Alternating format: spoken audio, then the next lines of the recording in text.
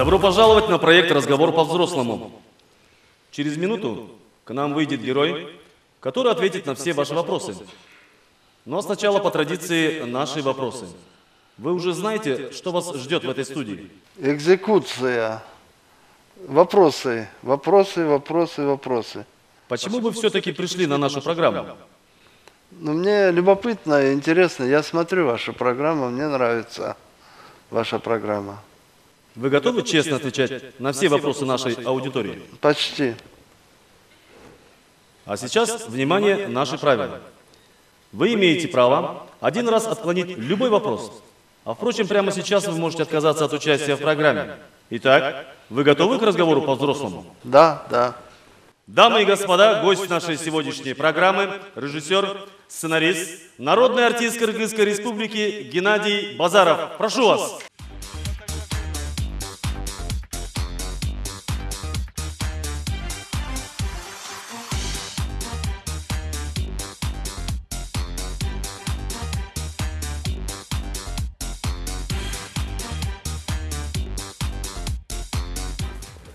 Здравствуйте, Геннадий Садырович. В начале программы герой должен рассказать немного о себе.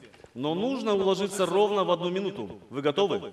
Да. Время пошло. Родился, пошел в детский сад, потом в школу. После школы два года работал на киностудии ассистентом. Потом пять лет учился в Москве в Авгике, в Институте кинематографии.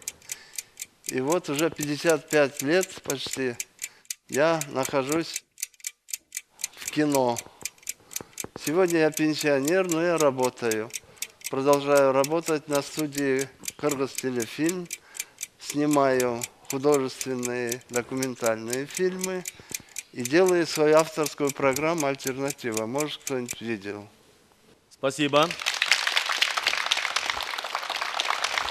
Итак, время вопросов с трибун. Первый вопрос, пожалуйста. Что нам не хватает, чтобы э, развивать наше кино, э, как у развитых странах, вот у нас тоже вот э, говорит кинозрителю, что много минусов, вот как вы можете сказать, как режиссер, что нам не хватает? Это очень просто. Ну вот, давайте один пример приведу. Вот «Титаник» фильм смотрели все, да? «Титаник» фильм обошелся 200 миллионов долларов. Теперь Курманжан Датка смотрели фильм? Курманжан Датка обошелся полтора миллиона долларов. Есть разница? Есть разница. Садок Шернияз, талантливый человек с таким трудом, за эти, за это очень, за копейки почти что, со своей группой, со своей, так сказать, со своими соратниками снял очень достойную картину. Мы э, не стремимся быть Голливудом. У нас свое направление, свой почерк, своя цель, понимаете. И чем отличается кыргызское кино? Вот кыргызское кино всегда отличалось самобытностью. Самобытностью. Мы показываем свою жизнь такой, какая она есть, без приукрашивания. Мы показываем, не, не унижая достоинство наших героев, понимаете, и не приукрашивая. Этим мы всегда отличались. И фильмы Укеева, Океева, Шамшиева, вот первой плеяды, куда я вхожу. Я самый младший в этой плеяде. Понимаете? Вот. И последующие фильмы, которые подхватили вот это вот так называемое киргизское чудо. Вот Арам Куват, Чернияз, Абдыджапаров, Эрнест, Марат Сарулу, Темир Бельназаров – Талай Кулминдиев, да, вот они все. У нас на Западе, на Западе очень ценится кыргызское кино, да и в советское время ценилось своей самобытностью, необычностью. Когда, как говорят, вот по-русски есть такая поговорка, голь на выдумке хитра. Когда у нас не хватает денег, когда у нас не хватает средств и техники, режиссеры, у режиссеров начинает работать фантазия – у операторов, художников, когда снимают кино. И они придумывают какие-то очень оригинальные э, приемы. Поэтому мы Голливудқа жетпейбіз қырғызша айтқанда ақшамыз жоқ и нам этого не надо нам этого не надо спасибо Следующий вопрос. А, слева от вас, пожалуйста. Студенческие годы, что у вас запомнилось и, как бы сказать, есть ли у вас советы для будущих кинорежиссеров? Ну, мое время, чтобы поступить в ВГИК, надо было два года проработать в киностудии. Я два года проработал, год ассистентом оператора, год ассистентом режиссера. Потом уже э, поступал в ВГИК. Также и остальные вгиковцы, которые закончили моего поколения. Понимаете? Что э, осталось, э, какие воспоминания молодости? Э, мы шестидесятники. Это было очаровательное время хрущевской оттепели. Хрущевской оттепели. Мы мечтали, мы э, были порывисты. 60-е годы это была эпоха возрождения своего рода. В 60-е годы появились потрясающие поэты Евтушенко, Ахмадулина, Вознесенский, Булат Акуджава, э, понимаете, потрясающие художники, потрясающие режиссеры, артисты. Это была такая эпоха. И вообще 20 век – это эпоха переродившее человечество. Понимаете? Вот.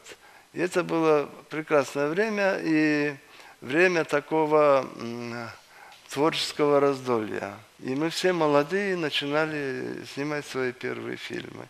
Вот я в «Материнское поле», это была моя дипломная работа, мне было 23 года. Теперь что нужно для режиссера? Для него нужно определиться, хочет он быть в кино – Хочет он положить свою жизнь на плаху творчества? Или, или просто кино для него это хобби?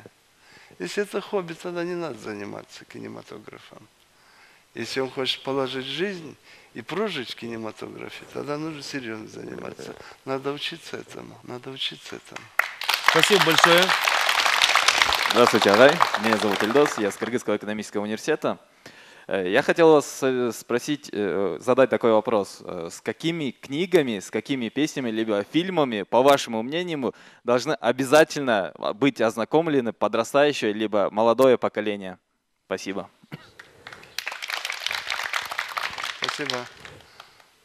Вот мое время, когда мы были совсем молодые, да, советская система педагогики считалась лучшей в мире – айылдан келген балдар вот из провинции, из регионов, да, они прекрасно знали классику, русскую и зарубежную. Я там своему племяннику говорил, там он приезжал, говорил, ай, ну что-нибудь прочитай там э, Некрасова. Он там начинал говорить, зима, крестьянин торжествуя, на дровнях обновляет путь. Вот так вот знали. Что для нужно молодому человеку? Ему надо знать классику, ему надо знать русскую классику, мировую классику, кыргызскую классику. Он должен быть эрудированным. Эрудированный человек, культурный человек – это, это уже богатство нашей республики, нашего народа. Надо все читать интересное. Спасибо. Следующий вопрос, пожалуйста, слева от вас. Почему вы решили стать режиссером? Что этому поспособствовало? То, что я буду в кино, уже было предопределено в школе. Я занимался фотографией, рисовал. Я знал, что я все равно в кино буду. Но я обещ... мечтал быть оператором. Но судьба так распорядилась, что я вот стал режиссером. Стал режиссером. Это было уже со школы я уже знал, что будет. Спасибо. Следующий вопрос справа от вас. У меня краткий вопрос, огромным смыслом. А Манас для вас кто? Манас, Манас для меня извечный герой такой, человек, которому э, надо э, подражать надо и которому надо поклоняться Манасу. Символ справедливости, мужества и чести. Манас Нурпахтаров дейбиз. Если мы хотим быть Манас Нурпахтаровым, мы должны быть честными, сильными, справедливыми и порядочными. Спасибо большое. Спасибо. Следующий вопрос слева от вас. Под вашим руководством снимался документальный фильм о Чингизе Айтматове. Насколько дружественные отношения у вас с ним были, и что вы можете рассказать о Чингизе Туракуловиче? Чингиз Туракулович – это э, мой наставник, я, я могу сказать, мой старший брат. У нас были очень тесные дружеские отношения до последних дней с Чингизом Циркуловичем. Это был уникальный человек, уникальная личность. Я не помню, чтобы Чингис Циркулович повышал голос. Я не помню, чтобы в нем были какие-то амбиции.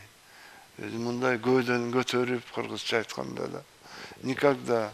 Он ровно относился ко всем, будь это колхозник, писатель, политик, э, кто бы ни был. И он очень был доступен. К нему приходили очень... Он же был председатель, долгое время председатель Союза кинематографистов. И его кабинет дверь была всегда открыта. К нему со всей, со всей Кыргызстана, со всей Киргизии приходили люди э, исповедаться, жаловаться, похвалиться, увидеть, по, пообщаться с, с этим великим человеком. И он для каждого находил э, время, находил какие-то добрые, нужные слова. Чингис Тарыхович был выдающийся э, и остался выдающимся писателем. И я думаю, его наследие пройдут годы, новые новые поколения будут прикасаться, приобщаться к его наследию, э, к его размышлениям, к его книгам. И будут получать потрясающий заряд э, от этого. Знаете. Терехолдж был интересный человек. По его книгам много снималось. Много снималось фильмов. Он никому не диктовал. Э, никогда э, такого диктата не было. Он был очень демократичным человеком. Очень демократичным. И наивным. Доверчивым, наивным, как ребенок. Его обмануть ничего не стоило. Спасибо. Следующий вопрос а, справа от вас, пожалуйста. Представьте, что к вам подошел ребенок и задал вам вопрос, но вы не знаете на него ответа. Как вы поступите? Если ребенок подойдет ко мне, задаст вопрос, а я не знаю, как ответить. Да, вы не знаете ответа. Я что, сказал, малыш, я не знаю, как ответить. Я бы честно признался. Кстати, кстати, вот с детьми, с детьми работать кино, да, вот дети иногда у меня снимались дети. С детьми работать в кино это один кайф, одно удовольствие. Они как взрослые. Им надо объяснять их роль или эпизод там, как взрослому артисту. И они это воспринимают. И вот им рассказываешь все. И я по глазам вижу, что он это все впитывает, впитывает. И он видит, что хорошее, что плохое. Именно, как говорят, э, устами младенца глаголит истина, да? И он вот точно может сказать, это дядя хороший, а это тетя плохая. И это э, точно бывает, точно. Я бы признался, что я не знаю, как ответить, и он бы меня понял. Спасибо. Спасибо. Следующий вопрос, пожалуйста. Снимал ли Чингиз Айтматов Э, свои фильмы в других странах. Чингиза Айтматова снимали немецкие кинематографисты. Снимали Джамилю. Джамилю. Они экранизировали. Турецкие кинематографисты, они снимали «Тополек мой в красной косынке». Кстати, очень удачная экранизация. Вот турецкая. Если вот э, Гевержде бывает, вот показывает по телевидению, если будет, посмотрите, очень удачно. Там играет потрясающая турецкая кинозвезда Тюркан Шарай. На ней держится весь, весь фильм. Вот, э, вот, пожалуй, все. А в основном на Мосфильме снимали, на студии Давженко снимали, и на Кыргызфильме снимали, и на Казахфильме снимали. Последний, по-моему, на Казахфильме сняли «Прощай, Гульсары». В свое время на Мосфильме снимал выдающийся кинооператор Урусевский, «Прощай, Гульсары», назывался «Бег и находца». Казах Тугандар они сняли, называется «Прощай, Гульсары».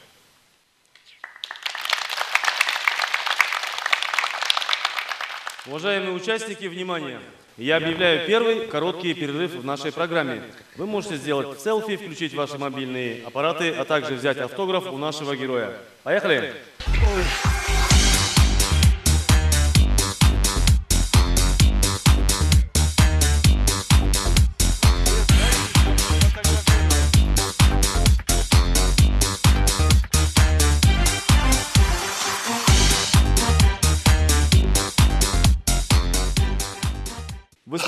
Программу «Разговор по-взрослому». Сегодня наш гость Геннадий Базаров.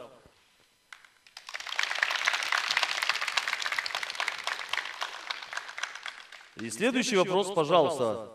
Многие люди слышали, что в 28 лет вышли на митинг, скандируя свободу Анджели Дэвис в числе милли- миллионов жителей нашей планеты.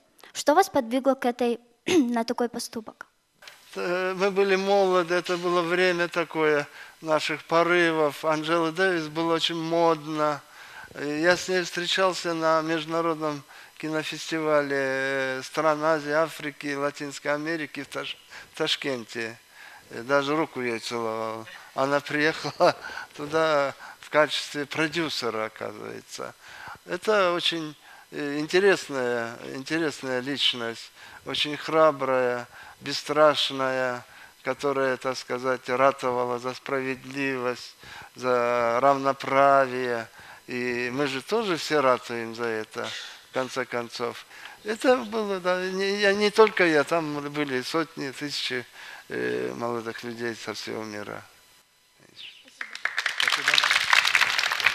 Следующий вопрос, пожалуйста. Как происходит кастинг на новые фильмы? Вы привлекаете старых актеров или ищете новых? И как это происходит? По-разному, по-разному. Вот это кастинг, кас- кастинг как раз самый, самый ответственный момент.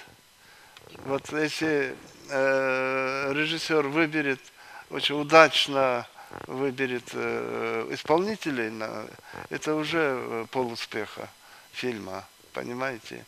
Я сейчас вспоминаю, э, как мы делали э, кастинг э, к материнскому полю. Ну, мы были молодые, приехали и немножко были в эйфории, вчерашние студенты. У меня, кстати, вот это вот была моя дипломная работа, оператора дипломная работа и художника дипломная работа. Нас в киностудии называли детский сад, нашу группу называли. Это детский сад идет. Вот. Поэтому вот кастинг это очень, э, очень важно. Э, Мы знали, что будет э, в роли Толгана, и Шенус Таракул сразу сказал, что он видит Бакен Кадыкеевну. Кадыкеева. Вот. Мы уже знали, понимаете? Поэтому мы на эту роль даже и не пробовали никого. Но на другие роли очень много, долго пробовали. Но я скажу другое. Пока мы пробовали, я хорохорился. Играл режиссера. За мной машина приезжала домой, привозила, отвозила. Такой бравада мной мной овладела какая-то эйфория. А потом пришло время съемки. Я об этом часто вспоминаю. Момент действительной съемки. Я пришел на съемочную площадку. Человек 60 группы. Человек 60 актеров с групповкой. И актеры все известные, народные артисты, популярные артисты, которые уже снимались в кино, знакомые по театрам. И я струсил. У меня поджилки стали трястись. Я не знал, что сказать. Мне надо было что-то сказать артистам. Как-то развести мизансцену. Что-то сказать оператору.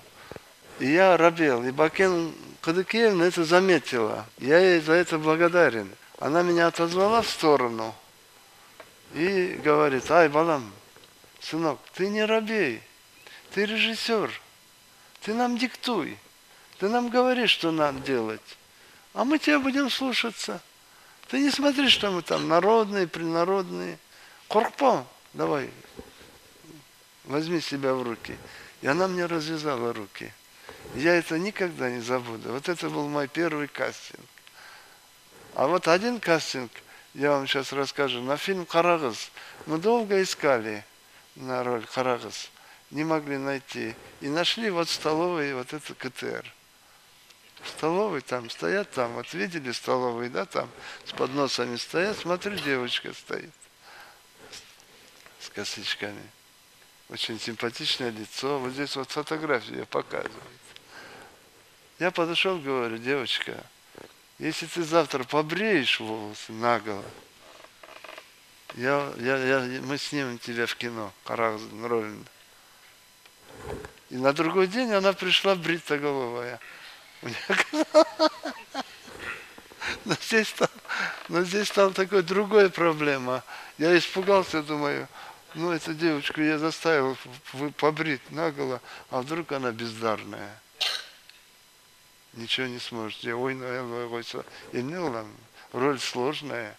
Там она э, э, инвалидка, э, говорить не может, ходить не может, только, только играть глазами. Это не каждый о- опытный актер может. Но она оказалась талантливой. Понимаете? Кастинг – это очень сложный процесс. И к кастингу надо подойти очень серьезно. Серьезно. Ну, бывает, иногда сразу на какого-то актера пишешь. Вот я обычно писал свои авторские работы, рабо- авторские фильмы на Саватбека Джумадылова. Это выдающийся актер. И пока была жива Бакен Кудыкеевна, на Бакен Кудыкеевну. Когда их не стало, я стал снимать Марата Алышпаева и Назира Мамбетова, вот мои актрисы. Если есть какая-то роль для них, я их сразу приглашаю. На другие роли мы ищем. ищем. Но мы сейчас стараемся искать вот э, на улицах, как обычно, э, свежие лица, чтобы были на экране. Свежие лица. Вот такая. Браво. Спасибо. Следующий вопрос, пожалуйста. Я э, уверен, то, что в жизни вам задавали очень много вопросов, и еще столько же будут задавать в будущем. Но есть ли среди них такой вопрос, который вам не задавали, но на который вы хотели бы ответить? Ваше прошел, прошла неделя российского кино. И группа э, киргизских кинематографистов поехали как гости тоже туда, в Ош. Вот недавно, три дня назад я вернулся. Вот там вот тоже на встрече мне задали вопрос. Э, По-моему, э, студент тоже. Говорит, «Э, вы много влюблялись. Я затруднялся, я говорю, я много влюблялся, но меня не любили. Поэтому я вот э, затрудняюсь на этот вопрос ответить, знаете. Спасибо за честный ответ. Следующий вопрос, пожалуйста. Расскажите нам про свою семью. Я женат, у меня э, трое детей. Сын, двое дочери. Они за границей. Сын в Словакии, гражданин Словакии, на- женат на словачке. У меня внучка словачка, она звонит, все мечтает, говорит, приедешь, деда, я тебя в костел поведу. Вот. А а дочери э, в Германии, они взрослые, э, тоже граждане Германии, одна замужем, тоже внучка. Вот они там учились, в университете кончили и а, остались. Э, Там работает, э, а сын художником работает, он был художник, журналист, вот он работает в- в Словакии. Вот такая у меня семья. Спасибо. Следующий вопрос, экономисты. Как вы считаете, почему Чингис Ат- Айтматов выбрал именно вас для экранизации «Материнского поля»? Вот это для меня остается тоже загадкой. Почему именно студента, дипломника, ведь он мог предложить это опытному режиссеру, правильно? Э, Всемирно известный э, писатель, всемирно известное произведение. Почему он именно меня выбрал? Для меня тоже остается вопросом. Может быть, он посмотрел мои курсовые работы студенческие. Я, когда был студентом, снимал курсовые работы. Одна называлась «Пауза», другая «Молитва». Ну, мне говорили, что он там в Москве, в Союзе кинематографистов посмотрел. И э, я должен сказать, что у- я себя к этому не причисляю. У Чингиза Тарикуловича было чутье на талантливых людей. Вот смотрите, его э, э, произведения дипломники снимали. Вот фильм «Зной» дипломница Шипитько снимала из Москвы. Вот э, э, «Верблюжий глаз» деген э, рассказ был у Чингиза Тарикуловича. Первый учитель, дипломник снимал а- Андрей Кончаловский. Вот, вот «Материнское поле», дипломник снимал. Вот, «Белый пароход», совсем молодой Болот Шамшиев снимал. Вот у него было какое-то вот, может быть, в этом его дар был, что он вот он открывал молодые, молодые таланты, молодые кадры. И мы ему за это, конечно, признательны. Он нас благословил на самостоятельную стезию в кинематографе. Атасын беріп да. Мы за это вот им очень признательны просто.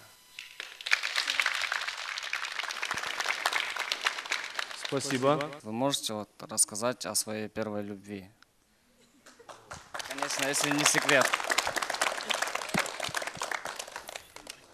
Слушай, мне каверзные вопросы задают. У меня... Ну это жизнь. У меня, у меня было всего две любви. Первая жена и вторая жена. Браво! Следующий вопрос, пожалуйста. Геннадий Садырович, э, я отвлекусь от темы кинематографии, э, и поэтому расскажите, пожалуйста, о своих родителях и о жизненных ценностях, которые они вам передали. У меня отец, отец был партийный работник, мать была домохозяйка, потому что она мать героиня была. У нас 10 детей, он очень. То есть она занималась хозяйством, детьми. Вот. Э, но у меня отец был партийный работник, но у него все друзья были творческого, такого э, э, творческие люди, да, писатели, художники, сказители, э, певцы, коммунисты. И у нас в доме часто вот собирались тусовка такая, э, бомонд такой в те времена, 50-е годы. Я, я маленький помню, они вот пели песни, э, Манас говорили, Саяпай Каралаев бывал у нас дома. Вот, э, Шукурбек Бейшиналиев, там много у него друзей было. И я это слушал, я вырос, в общем-то, на... они спорили, говорили об искусстве, Муратбек Рыскулов там, э, и делились своими какими-то мечтами и так далее. И вот на фоне вот этих вот э, интересных э, разговоров, встреч я вот э, рос. И, видимо, вот э, чувство творчества вот как-то привилось от них. Привилось от них. Конечно, я тогда маленький не думал, что пройдут годы, я Мурат Крыскова буду снимать в фильме там «Улица», там, предположим, там, и так далее. Вот. И я горжусь, что я маленький Бельтоп выдающий адамдардың тізесінде отырып қалдым муса баетов райхан шүкірбеков ыбрай туманов там и так далее и так далее вот тізелерінде отырып қалдым даже сидел на коленях у знаменитого Хожамкула Атан, я его помню, такая громада была, скала, такой скромный, тихий, много не говорящий такой и так далее. Вот такая была семья у нас, такая дружная и сплоченная. И из семьи вот я один в творчество пошел. Один так в творчество пошел. И у нас вообще родители не диктовали, кому кем быть, кому где учиться. Это была такая какая-то свободная, у нас такая демократичная такая обстановка. Кто хочет быть врачом, иди врачом. Кто хочет инженером, пожалуйста. Гена захотел там в Москву лететь, ну лети в Москву. Там, и так далее. Спасибо. Спасибо. Следующий вопрос, пожалуйста. За всю свою жизнь вы делали какие-нибудь самые безумные поступки? Я думаю, вот снимать кино это уже безумный поступок. Это ведь не просто снимать кино. В свое время была статистика, что кинорежиссеры занимают второе место по смертности после летчиков-испытателей. Они обычно умирают от разрыва сердца или от кровоизлияния мозг. Снимать фильм – это безумный поступок. Наверное, это так. Геннадий Садырович. Да-да. А, мы сегодня узнали о вас много новых интересных фактов. Но это были вопросы от наших участников. Я же воспользовался своими полномочиями ведущего, и у меня есть собственные вопросы. Пожалуйста. Их, их всего пять. Это просто интересные занимательные факты из жизни. не обязывающие, не привязывающие, не привязывающие ни к чему. Вы готовы? Пожалуйста.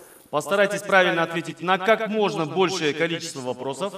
Я буду внятен. На все вопросы вы должны отвечать просто «верю» или «не верю». Вы готовы? Да. Поехали. Сэндвичи получили свое название в честь картежника графа Сэндвича. Да, верю, верю. Это верю. правильный ответ. Граф Сэндвич, так звали известного картежника, который был так увлечен игрой, что даже не хотел прерываться на обеды, а чтобы перекусить во время партии, он придумал класть мясо между двумя кусками хлеба. Так что это правильный ответ. Первым человеком не королевской крови, попавшим на британскую марку, стал Вильям Шекспир. Верю. И это правильный ответ. Калибри. Единственная птица, которая не может летать задом наперед. Не верю. И это правильный ответ. Калибри единственная птица, которая может летать задом наперед. Черепахи живут максимум 20 лет. Нет. И это правильный ответ. Черепахи могут жить до 100 лет. И завершающий вопрос – энология. Энология – это наука, изучающая процесс производства вина. Да. Правильный ответ. Подводим итоги. Из пяти вопросов вы дали пять правильных ответов. Это превосходный результат. А сейчас, внимание, второй короткий перерыв в нашей программе. Селфи, автографы и еще раз селфи.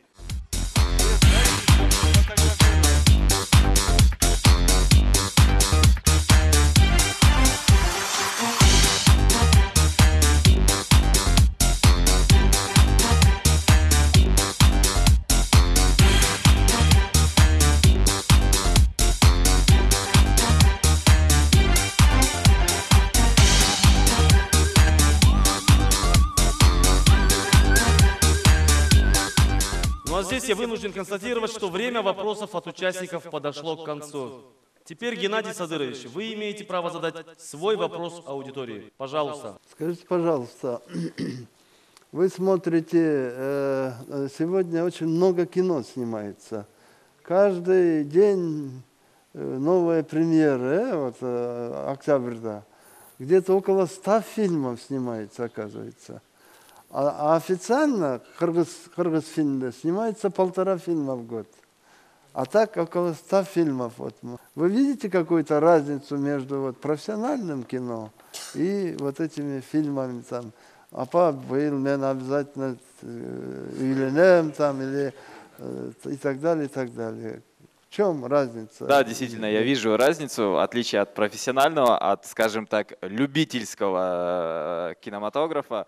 Э, Чем отличается то, что любительские, то, что снимают, штампуют, скажем так, они ориентированы более на финансовую часть, а не на э, публику. А профессиональные фильмы, они имеют свой смысл, они имеют э, свой, скажем, стержень, э, на который они основ, основываются. А современные фильмы, которые штампуются, они ничем не отличаются, я думаю, от э, любительских таких видеосъемок. Кино не должно вообще искусство угождать зрителю. Угождать зрителю. Они пытаются угодить зрителю, рассмешить. Смысл э, творчества, смысл кино, театра, литературы ведь в чем? В том, чтобы он имеет такой воспитательный смысл, понимаешь? В том, чтобы зрителя, зрителя поднимать до своего уровня, до уровня э, классической музыки, до уровня высокой литературы, поэзии, до уровня профессионального кино и театра. Вот воспитательное такое значение, а не угождать им, понимаете?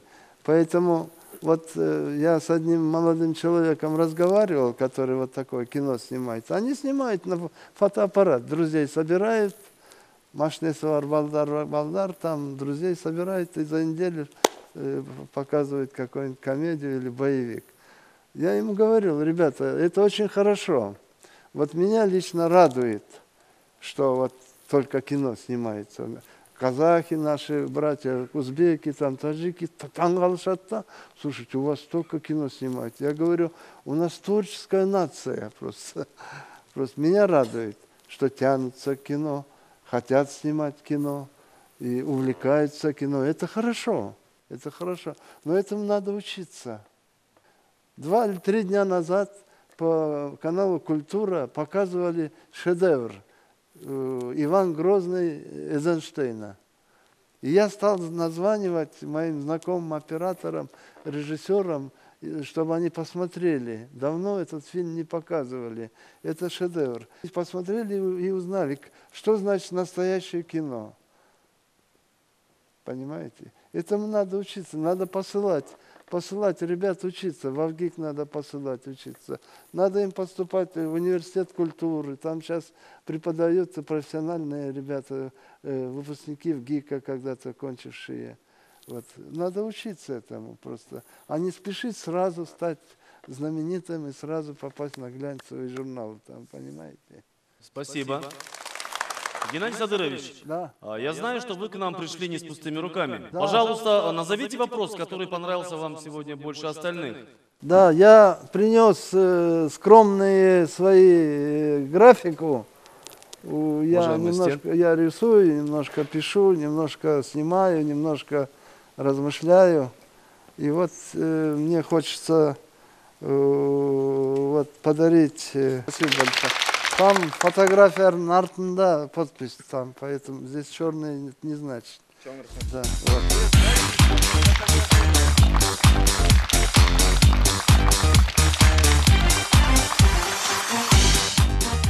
Пишите красивые светлые строки. Вот такая необычная ручка. Сегодня в нашей студии присутствуют студенты двух высших учебных заведений. Это Кыргызский экономический университет имени Мусы Рыскулбекова и Международный университет Кыргызстана. Они сидят в разных секторах. Международный университет Кыргызстана, пожалуйста, поднимите руки. Ага. Кыргызский экономический университет, пожалуйста. Скажите, Геннадий Садырович, вопросы какого сектора вам показались наиболее интересными? Ну, вам нужно сделать выбор. Я равно отдаю по пятерке. Ничья так ничья! Да.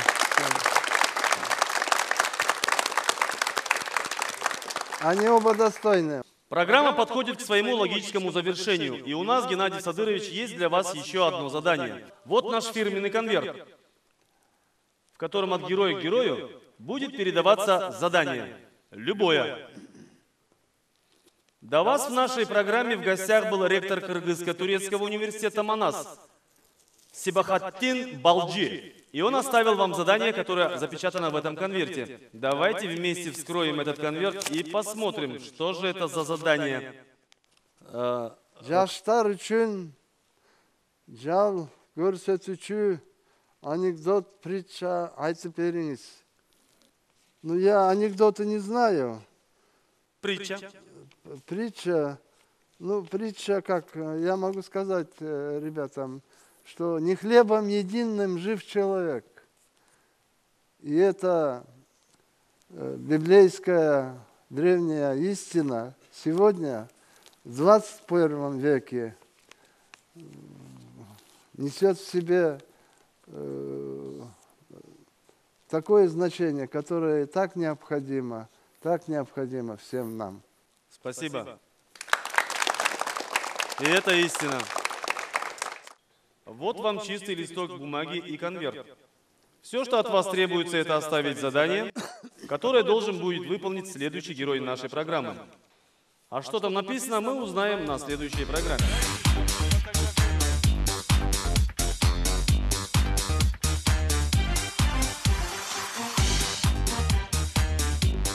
Запечатывайте в конверт.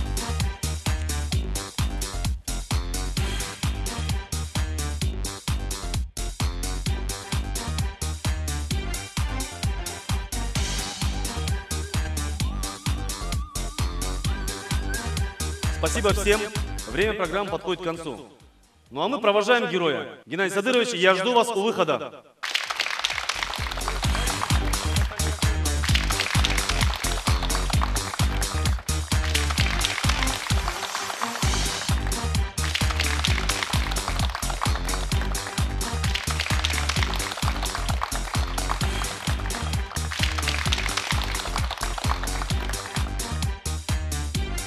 Ну что ж, Геннадий Садырович, э, вот здесь я попрошу вас на минутку задержаться, так как здесь по традиции я задаю герою программы наши вопросы. Назовите, пожалуйста, самый сложный вопрос из всех, что сегодня прозвучали. Самый сложный вопрос был, э, который задал мой молодой друг. Какой был самый сложный вопрос, на который вы не могли ответить? Все правильно. Было такое. А были ли сегодня вопросы, на которые вы уже устали отвечать? Нет, нет. Я с удовольствием отвечал на все вопросы. Хотели бы вы еще раз принять участие в нашей программе? Да, да. Спасибо. Уважаемые участники программы, сейчас я обращаюсь к вам. Считаете ли вы, что наш сегодняшний герой был максимально откровенен с вами? Поделитесь, пожалуйста, своими мнениями. А, Сегодня ау- аурой Геннадия Базарова мы чувствовали э, творческого человека, э, который посвятил свою жизнь искусству э, и кино. Спасибо. Он- Спасибо. он- я считаю, он ответил э, честно и открыто. Мне показалось то, что Агай, скажем так, э, отвечал действительно сегодня искренне от души. Мне очень понравилась беседа, и была бы возможность, я бы хотел с ним побеседовать еще раз. Спасибо. У нас есть еще одна традиция. Последнее слово в нашей передаче, как правило, за человеком, который отвечал на вопросы, то есть за нашим героем. Геннадий Садырович, подведите, пожалуйста, итог состоявшегося разговора. С уважением и верой, ваше хорошее завтра, дорогие молодые друзья мои. Я завершаю эту встречу и надеюсь еще в последующем встречаться, встречаться, встречаться. Спасибо. Я благодарю всех участников, зрителей и героев нашей программы. Напоминаю, что сегодня в гостях программы «Разговор по-взрослому» был режиссер, сценарист, народный артист Кыргызской республики Геннадий Базаров. Встретимся здесь же через неделю. До встречи!